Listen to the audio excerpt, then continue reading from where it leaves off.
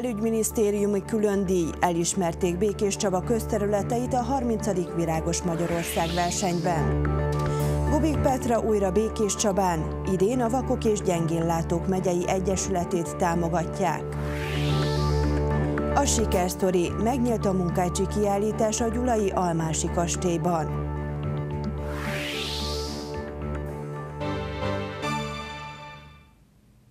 Jó estét kívánok! Önök a 7.tv híradóját látják.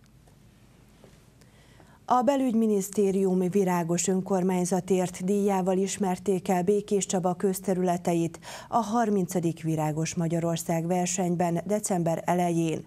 A szakmai bizottság értékelése szerint fontos, hogy az önkormányzat ne csak a belvárost, hanem a különböző városrészek központi zöld felületeit is nagy gonddal szépíti. Idén Bajáról érkezett az a szakmai zsűri, amely a Virágos Magyarország verseny egységes szempontrendszere szerint értékelte a békés csabai köztereket. Ilyenkor nem csak a virágosítást vizsgálják, tehát nem csak a virágágyak minőségét és mennyiségét, hanem a város egész zöld területi ellátottságát. Tehát gondolunk itt arra, hogy a közparkok, közkertek minőségét, mennyiségét, funkcióval való ellátottságát is nézik, illetve a környezetvédelmi szempontú zöld fenntartást is bírálják. A szakemberek egy évben kétszer telepítik be a békés csabai virágágyásokat. Tavasszal az egynyári, míg ősszel a kétnyári és hagymás virágokat ültetik ki, az ágyások környezeti feltételeit figyelembe véve. Emellett az elmúlt években szükséges volt a zöld felületek egyre gyakoribb öntözése is, így a város több pontjára öntözőberendezéseket is telepítettek. A fődíj mellett a Virágos Magyarország verseny legrangosabb elismerését, a belügyminisztérium virágos önkormányzatért díját 30 ezer fő feletti lakosságú város kategóriában ítélték meg Békés Csabának. Erről már a város aljegyzője beszélt. Van jelentősége, vagy nagy jelentősége van ennek a díjnak, mert a belügyminisztérium nem csak egy kiemelt részét vizsgálta és díjazta a városnak, hanem értékelte azt, hogy a város összességében, komplexitásában kezeli a zöld felületeket, külön kiemelve a Csaba Park területét, a Munkácsi negyednek a, a szépítését, illetőleg a új piac és környezetének a, virágosítását. A külön díj nem csupán eszmei elismeréssel járt, az önkormányzat egy nagyértékű zsolnai vázát, egy kertészeti utalványt és egy többször iskolázott fát is kapott. Egyestesen maradnak programok nélkül azok, akik Békés Csaba főterére látogatnak december 3-a és 23-a között. Esténként előadások, ingyenes körhinta, kisvasút, állatsimogató várja a Szent István térre érkezőket. Hétvégenként pedig sztárfellépőket is láthatnak a Békés Csabaiak. Körhinta, kisvasút, állatsimogató, csak néhány azok közül a programok közül, amelyek a főtérre látogatókat várják az adventi időszakban. A Csabai Advent elnevezésű programsorozatot óvodás gyermekek és kulturális szervezetek előadásai, valamint koncertjei is színesítik. A díszbe öltözött főtér napközben is népszerű, egymást érik az óvodás csoportok, hogy megcsodálják az adventi koszorút és az általuk feldíszített karácsonyfákat, amelyeket a Nagy Diófa utcából érkezett 6,5 méter magas fa köré helyeztek el. Most, hogy sem a Covid, sem az energiaválság nem gátolta, nehezítette a folyamatokat, ez a kezdeményezés is szárba szökkent, köszönhetően annak is, hogy egy Facebookos kampány során szavazni is lehet ezekre a fákra, de önmagában én azt gondolom, mind a tíz fa gyönyörű, kreatív, dekoratív, nagyon szép alkotásokat készítettek az óvodások, óvópedagógusok, és ezzel díszítették a fákat. A Csabai Advent az alpolgármester szerint inkább közösségi tér, mint klasszikus karácsonyi vásár.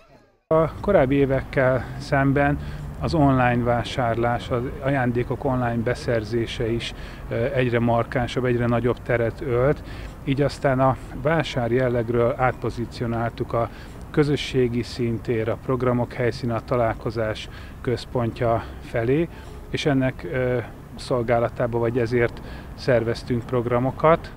A további programokról szólva az alpolgármester kiemelte, hogy december 23-áig minden nap várják az érdeklődőket a Szent István téren, szombatonként sztárfellépőkkel.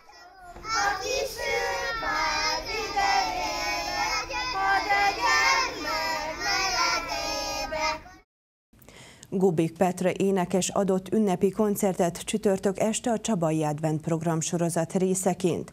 Az önkormányzat hagyománynak számító jótékonysági rendezvényének kedvezményezettje idén a Vakok és Gyengén Látók Békés megyei Egyesülete. A belvárosi katolikus templomban folytatódott a Csabai Advent program sorozat csütörtök este. Az önkormányzat minden évben egy-egy helyi intézményt vagy szervezetet támogat a jótékonysági koncerten résztvevők segítségével. Jövőre lesz az Egyesületünk 20 éves, illetve az elődjevel együtt 70 éves, és egy nagyszabású rendezvényt szeretnénk belőle megvalósítani.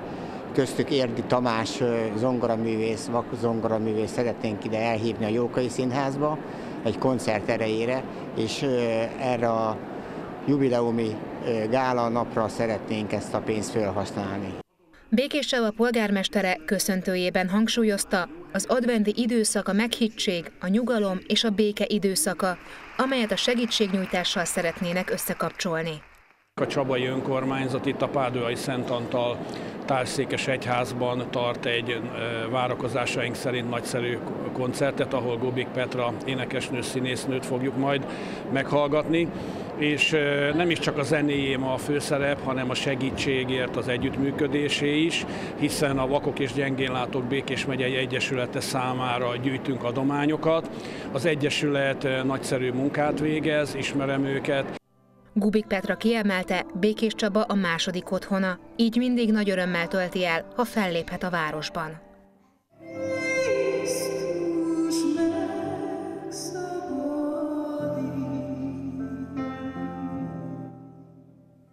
Megnyílt a Munkácsi a Sikersztori című kiállítás a Gyulai Almási kastélyban. A tálat az első ecsetvonásoktól a világhírnévig követi végig Munkácsi Mihály életét. A kiállítás egyik különlegessége, hogy a másfél milliárd forintra biztosított eredeti műalkotások mellett a festőművész néhány személyes tárgyát is bemutatja. Ez az ecset az egyik legértékesebb munkácsi relikvia a Gyulai Almási kastélyban berendezett kiállításon. Ezek pedig a művész festékei, melyeket a tárlaton látható híres életképeihez is használt.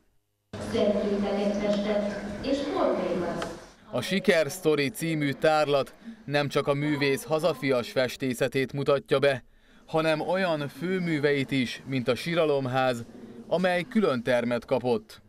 Azért is nagyon különleges ez a kiállítás, mert tulajdonképpen négy fő teremben, négy fő témát dolgoz fel a kiállítás, és lépésről lépésre haladhatunk végig azon az úton, amelyel tulajdonképpen Munkácsi Mihály igazán sikeressé vált. Munkácsi Mihály a festőfejedelem, Magyarország jelenleg is legismertebb festője.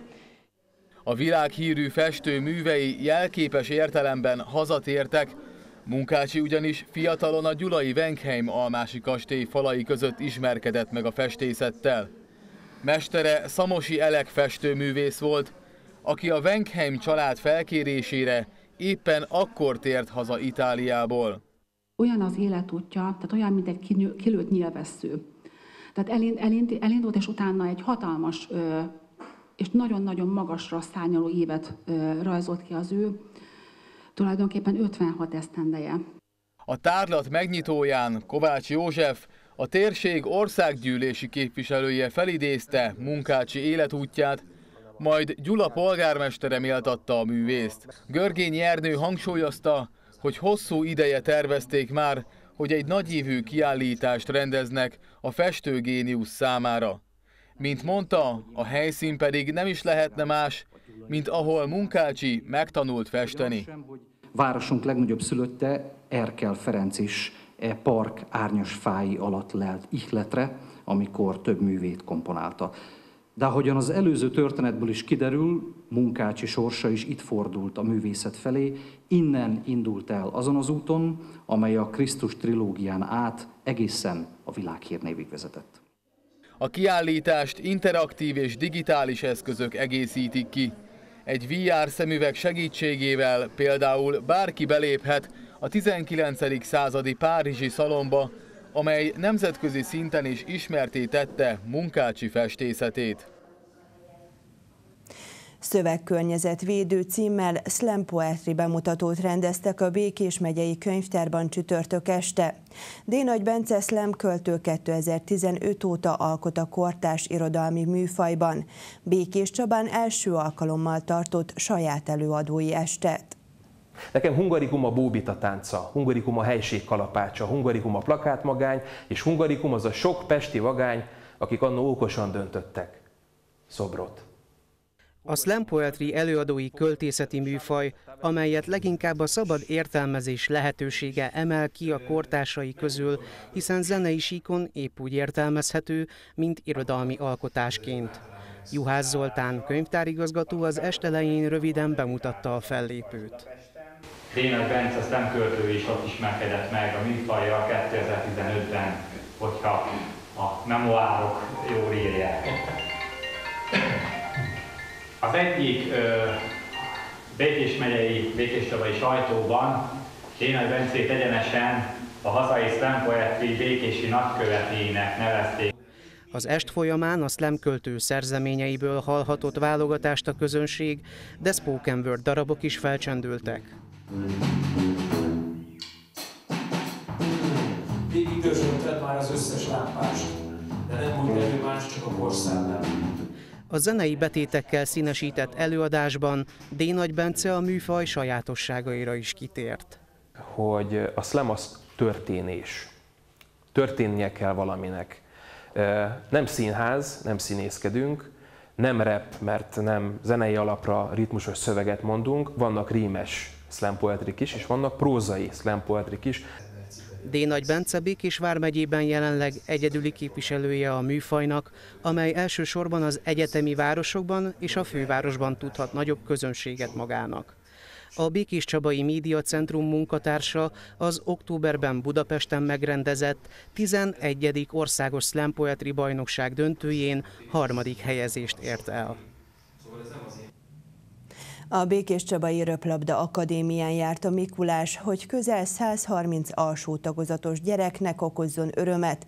A klub ezzel együtt házi versenyt rendezett a fiataljai számára.